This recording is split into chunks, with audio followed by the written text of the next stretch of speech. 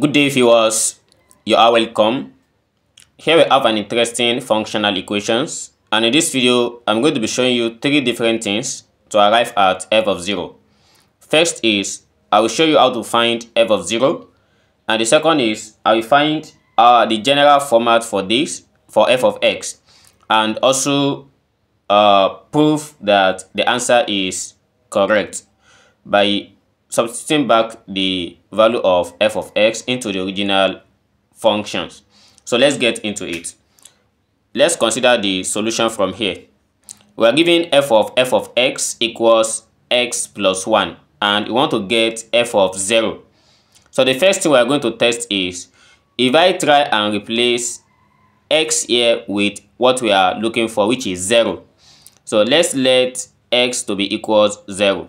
So by doing that we have f of f of 0 equals 0 plus 1 and then have 0 plus 1 which equals 1 so therefore we are going to have f of f of 0 equals 1 and again suppose I let in this equation that we just got let me call this one equation 1 in this equation 1 if i let if i replace or i let f of 0 which we have in this function so the function is composite.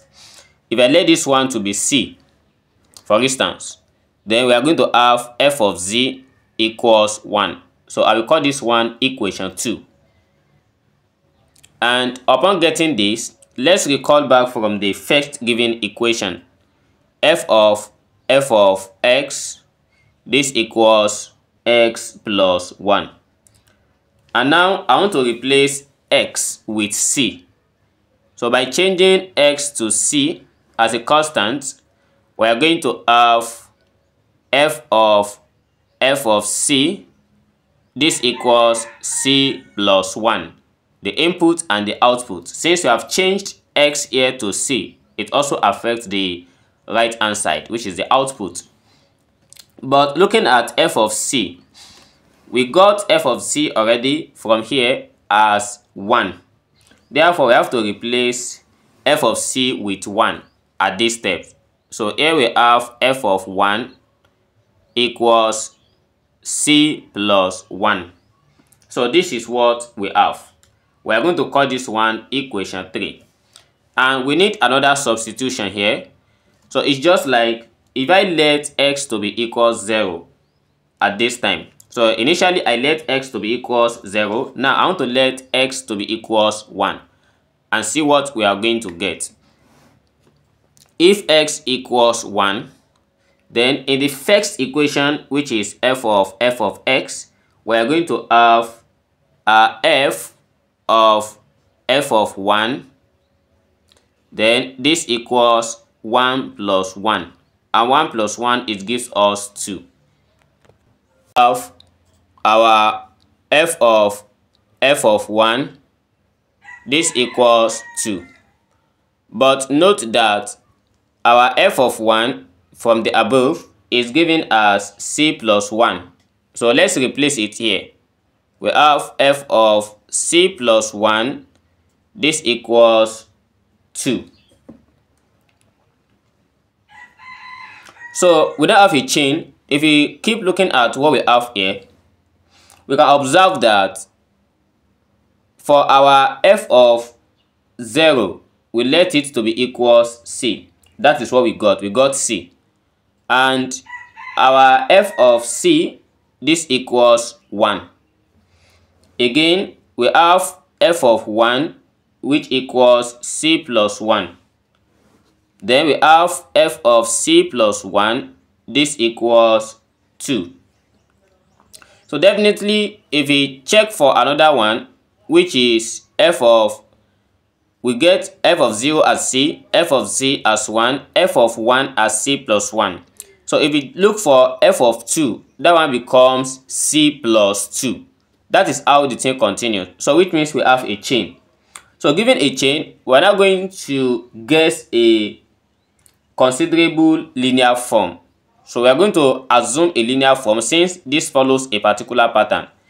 Both are all constant because CA as well is a constant values.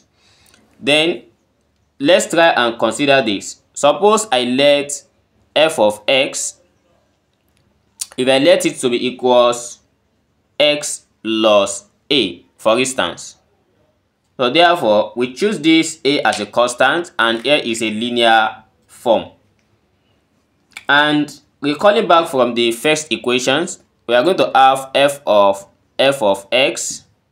So this will be equals, since we have changed f of x to x plus a, so we have this as f of x plus a and which everything will be equals initially f of f of x is x plus 1 so we have changed that one to x plus a and here we have a as a constant. So we get this one as x plus x plus a.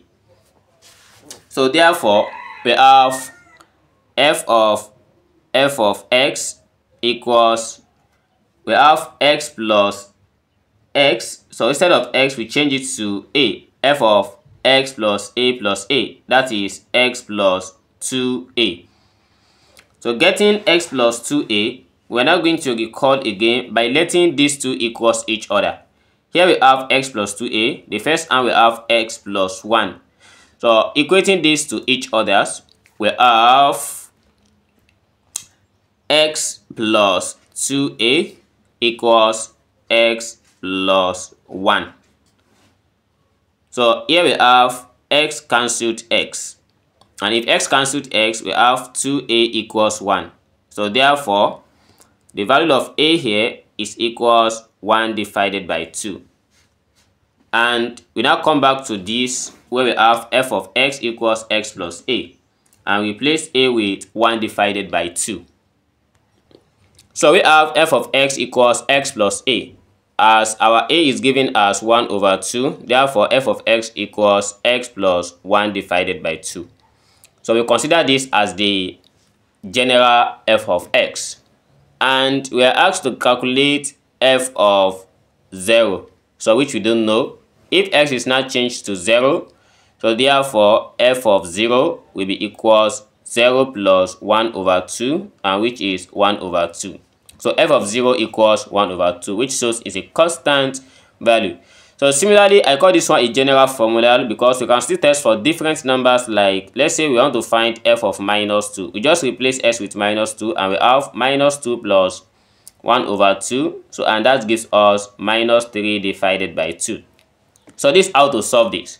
And if you try to verify this, so it's very, very simple to verify this. Since what we have is, so we want to verify, since what we have is f of x equals x plus 1 over 2. Suppose I introduce f to both sides. So we are going to have f of f of x equals f of x plus 1 divided by 2. So this is what we have.